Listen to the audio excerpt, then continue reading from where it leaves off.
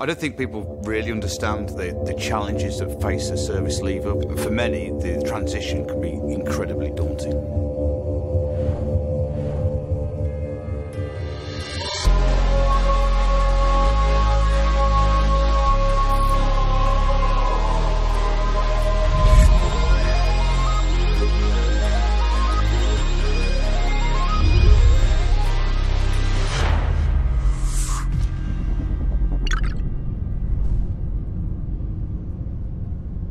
This is going to and is already throwing up challenges.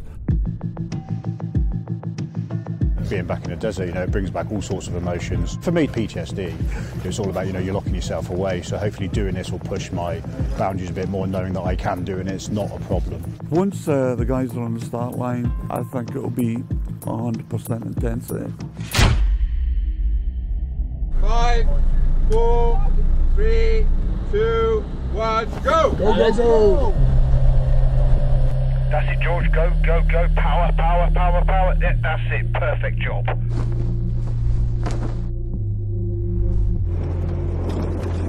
And we're going straight on and we're going right.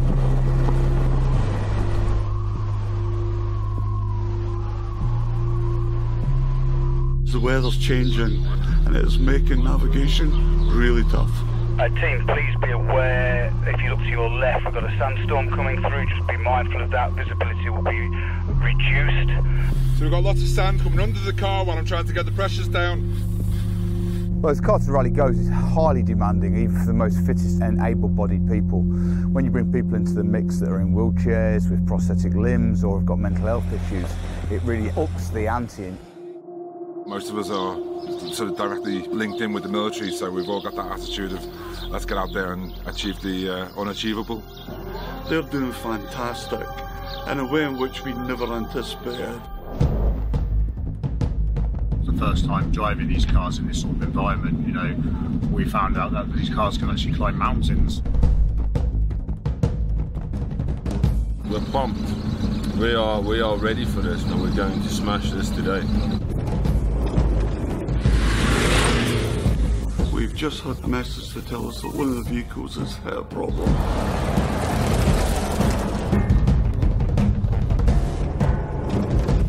So we actually went through a ditch, misjudged it, hit it straight on. Uh, we've hit the radiator and we seem to have a split in it. They're going to get recovered back to the bivouac. If all the stars align, we'll be all right for tomorrow morning. It's all shaky like this, but it's really good. So yeah, there's been a little bit of teasing inside the car of who, who made the mistake, the, the, the driver and the navigator. We'll, we'll still settle that. So today is the first of the dunes. So a uh, big day for the cars really, and for everybody here because they've not done it before. Let about these dunes. When we go, approach them with gusto, momentum, but not over exuberance. I've only, I've only got a little bit of sound. You call it here, you drop the wheel in, and it's actually vertical, and the vehicle just goes off like that, and it's over. Power, power, power, power, Yeah, power, yeah, yeah, yeah, yeah. I'm trying, I'm trying, I'm power, trying. power, power, power. We're stuck now. Oh, mate, we're stuck.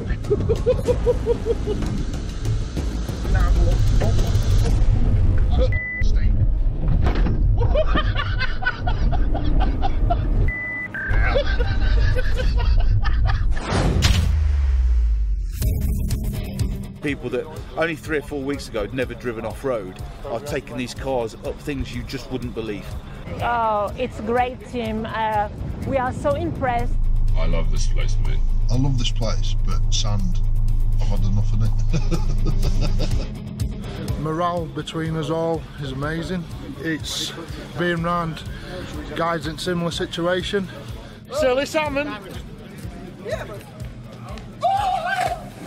I've done stuff this week that I didn't think were possible, and it's been amazing. It really has. You can't walk, you expect him to swim. this has been an absolutely awesome but unforgiving week in terms of terrain and sleep deprivation, but the people and the cars have performed brilliantly. If I'm having a bad day, just think of climbing the mountain in the duster. You know, amazing. We've created not just one memory, but a whole series of memories. It's been fantastic.